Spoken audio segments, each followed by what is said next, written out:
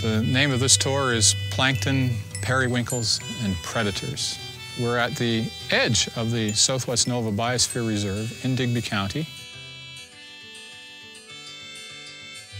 The rocky shore that's exhibited here at Point Prim is, is a special place.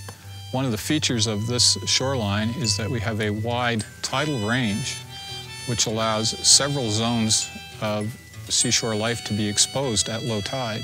And they call it the barnacle zone. We're in the rockweed zone now, but underneath, you've got literally millions and millions and millions of barnacles on this shore.